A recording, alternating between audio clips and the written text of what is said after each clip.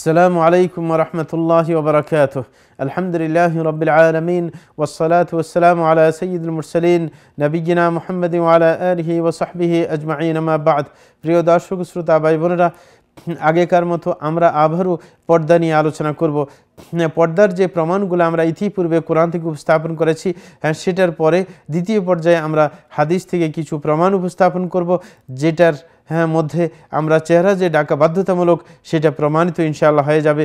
যেরকম কোরআনের চারটে আয়াত থেকে আমরা প্রমাণ দেখিয়েছিলাম যে চেহারা ডাকাও বাধ্যতামূলক। হাদিস থেকে সর্বপ্রথম যে হাদিসটি আমরা উল্লেখ করব, সেটা মুসরদ আহমদের হাদিস হাদিস নম্বর চব্বিশ হাজার নম্বর হাদিস। যে হাদিসের মধ্যে রসুল আকরম সাম বলেছেন, ইদা খতাবা আহাদুকুম ইমরাআতান ফালা জুনাহা আলাইহি আন ইয়ানদুরা মিনহা, ইদা কানা ইন্নামা ইয়ানদুরা ইলাইহা লিখিদবাহ ওয়া ইন কানাত লা তা'লাম। রসুল আকরম সাম বলেন, তোমাদের কেউ যদি কোনো মহিলাকে বিবাহের প্রস্তাব দেয়, তাহলে তার কোনো অসুবিধা হবে না। তাকে দেখতে যদি সে আসলেই আপনার বিবাহের নিয়তে দেখে এবং প্রস্তাব দেওয়ার নিয়তে দেখে, তাহলে এই দেখার মধ্যে কোনো সমস্যা নেই। যদিও সে মেয়ে মেয়েটা না পায় এই ব্যাপারে।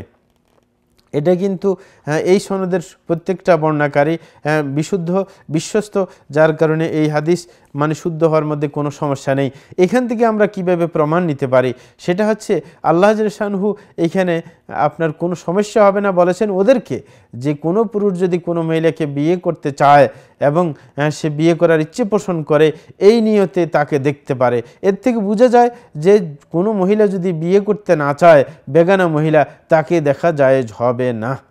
সুতরাং বেগানা মহিলাকে না দেখা এখান থেকে বোঝা যায় যে তাদেরকে দেখা যায় হবে না, কারণ তাদের চেহারা অবশ্যই পর্দা, সেখান আমরা এখান থেকেই বুঝতে পারি। কেউ বলতে পারে এখানে যে হাদিসের মধ্যে কতটুকু দেখবে না দেখবে সেটার তো কোনো বর্ণনা এসে, আসে নাই। হুম হইতে পারে এইখান থেকে দেখার দ্বারা উদ্দেশ্য হতে পারে, বুকের অংশ অথবা গলার অংশ, বুক, গলা ইত্যাদি দেখতে পারবে, এটা বোঝা যায়। আমরা এই ক্ষেত্রে বলব যে এটার উত্তরে এইভাবে আমরা বলতে পারি যে, প্রত্যেকে এটা জানি যে একজন বিবাহের প্রস্তাবকারী, তার উদ্দেশ্য আছে সৌন্দর্য আপনার জানা। আর এই সৌন্দর্য জানা, চেহারার দিকে তাকালেই সম্ভব। হ্যাঁ সুতরাং চেহারা দেখাটাই আসলে এখানে উদ্দেশ্য। এইখানে মানে পুরো শরীর দেখা কখনো কোনো বোকাও বলবে না। যে মহিলাদেরকে দেখা মানে উলঙ্গ করে দেখা। এটা কখনো হ্যাঁ আপনার কোনো বোকাও বলবে না। তাইলে এইখানে দেখার দ্বারা উদ্দেশ্য তার সৌন্দর্য যেন আঁচ করতে পারে আর সেটা চেহারা দেখার মধ্যেই সীমাবদ্ধ রাখলেই চলে, অন্যগুলো দেখার কোনো প্রশ্নই আসে না। তাইলে আমরা বুঝব যখন একজন মানুষ যে খেদবা দিতে যাবে, অর্থাৎ বিবাহের প্রস্তাব দিতে যাবে, তার জন্য যদি চেহারা দেখা জায়েজ করা হয় তাহলে অন্যদের জন্য সেটা না নাজাইজে থেকে গেল। দ্বিতীয় আরেকটা প্রমাণ হ্যাঁ আরেকটি হাদিস, সেটা হচ্ছে রসুল আকরম সাল্লাহ আলী ইসলাম আপনি ঈদের নামাজ পড়ার জন্য মহিলাদেরকে আদেশ করেছেন যে মহিলাদেরকে সবাই আপনার মুসাল্লার মধ্যে ঈদের হ্যাঁ আপনার মাঠে আসতে হবে। হ্যাঁ তখন সাবেক গ্রামের মহিলাদের হ্যাঁ কেউ বলেছিলেন যে, ইয়া রসুল্লাহ ইহদান আলা ইকুনুল্লাহা জিলবাব। হ্যাঁ যে আমাদের তো অনেকের হ্যাঁ কোনো এরকম বড় চাদর থাকে না হ্যাঁ যা দিয়ে তার চেহারা ইত্যাদি ডেকে রাখবে। তখন নবী সাল্লাহ ইসলাম তাদের উত্তরে বলেছিলেন, বুখারি মুসলিমের হাদিসের মধ্যে লিতুলবিস হা উখতুহা বিন জিলবাবিহা। যে তার কোনো বান্ধবী অথবা বোন সে নিজের চাদর ধার দিতে পারে, যার মাধ্যমে তার চেহারা ইত্যাদি ডেকে রাখবে। এই হাদিসটা বুখারির মধ্যে এসেছে, মুসলিমের মধ্যে এসেছে, বুখারির হাদিস নম্বর তিনশত চব্বিশ এবং মুসলিমের হাদিস নম্বর আটশত নব্বই।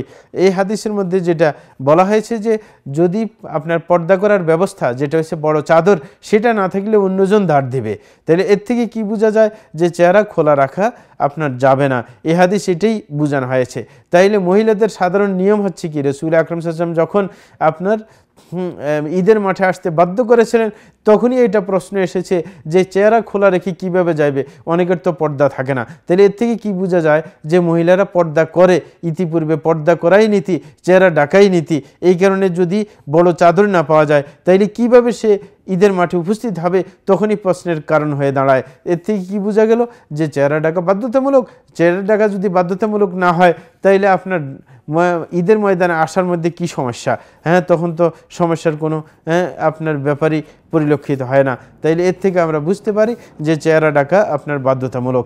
আরেকটা আমরা প্রমাণ পেশ করব হাদিস থেকে, যেটাও বুখারি মুসলিমের হাদিস হজরত আয়সার হাদিস, যে তিনি বলেন যে রসুল আকরম সাল্লাহ ইসলাম ফজরের নামাজ যখন পড়তেন ফজরের নামাজের সময় তার সাথে অনেক মুমিন মহিলারা উপস্থিত হতো।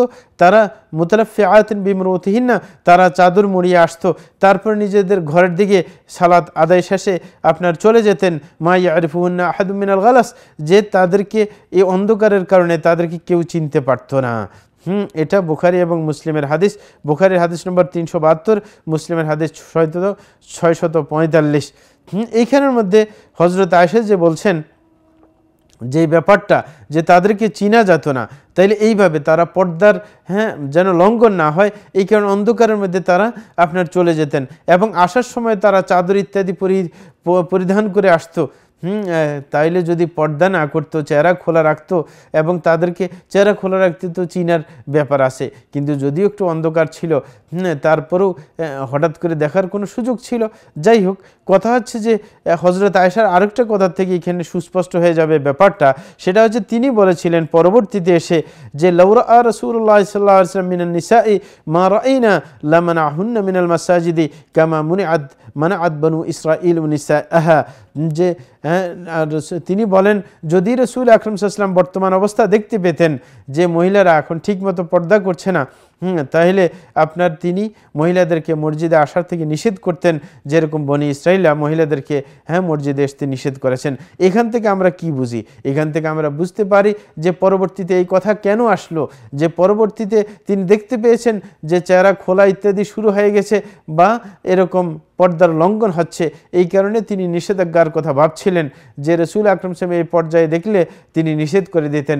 এর থেকে বোঝা যায় যে তিনি আঁচ করতে পেরেছেন যে পর্দার লঙ্ঘন হচ্ছে, চেহারা খোলা হচ্ছে, যেটা তিনি হাদিসের মধ্যে বলেন যে তারা এমন পর্যায়ে রসুলের পিছনে নামাজ পড়তে আসতেন যে তাদেরকে কেউ চিনতে পারতো না। তাহলে বোঝা গেছে চিনার কোনো সুযোগ আছে। এইখানে দুইভাবে আমরা ব্যাপারটা আমরা উপস্থাপন করতে পারি যে চেহারা ডাকার ব্যাপারটা। এক নম্বর হচ্ছে বোঝা গেছে যে মহিলাদের মধ্যে সেই যুগে আপনার পর্দা নীতি ছিল। এই কারণেই আপনার পর্দা নীতি থাকার কারণেই হ্যাঁ আপনার সমস্যাটা আসে নাই।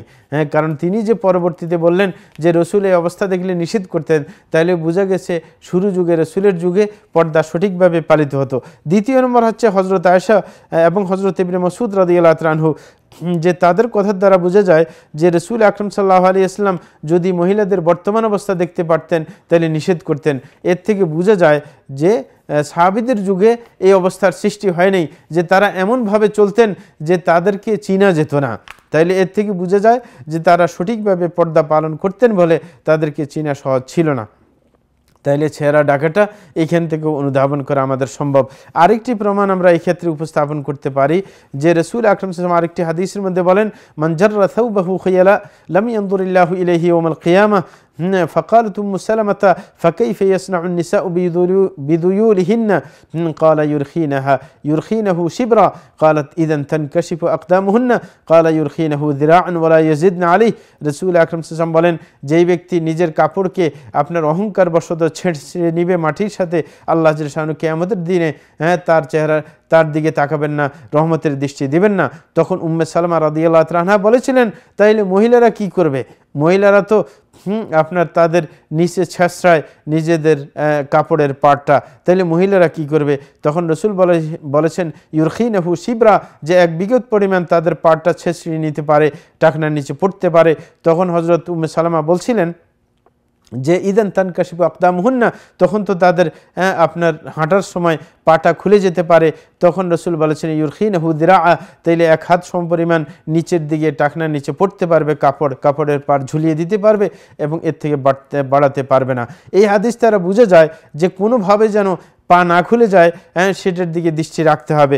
আচ্ছা পা কতটুকু সৌন্দর্য হয়ে থাকে আর আকর্ষণীয় হয়ে থাকে সেটা সবাই আমরা বুঝি হ্যাঁ অথচ পা ডাকতে এত গুরুত্ব দিয়ে বলা হয়েছে। তাইলে পাঁর চাইতে চেহারা তো খুবই গুরুত্বপূর্ণ আকর্ষণের দিক দিয়ে। তাই চেহারা খোলা রেখে পা ডাকার এত গুরুত্ব দিতে হবে, এটা তো কখনো কোনো বোকা মানুষ বুঝবে না। হ্যাঁ যারা মনে করে যে চেহারা খোলা রাখবে হ্যাঁ পা ডাকবে তাইলে তো আর হ্যাঁ সেটা কীভাবে আপনার হইতে পারে? যে আকর্ষণীয় জায়গাটা খোলা রাখল আর যেটার মধ্যে আকর্ষণ নাই হ্যাঁ সেটা আপনার ডেকে রাখার এত গুরুত্ব দিল। আমরা নিজেও অনেক হ্যাঁ, দেখি যে অনেক মহিলার চেহারা খুবই আকর্ষণীয় কিন্তু পাঁট দিকে তাকাইলে আকর্ষণ বোধ করা হয় না। হ্যাঁ, সুতরাং যখন আপনার পা ডাকতে এত গুরুত্ব দেওয়া হয়েছে তখন এর থেকে বোঝা যায় চেহারা ডাকা অবশ্যই এর চাইতে আরও গুরুত্বপূর্ণ। সুতরাং চেহারাকে কোনোভাবে খোলা রাখা যাবে না। আল্লাহ জেসান আমাদেরকে সঠিকটা বুঝে আমল করার তৌফিক দান করুন ওসল আল্লাহ আলা নবীনা মোহাম্মদ ওয়ালা আলহি ওসাহবিহি আজমাইন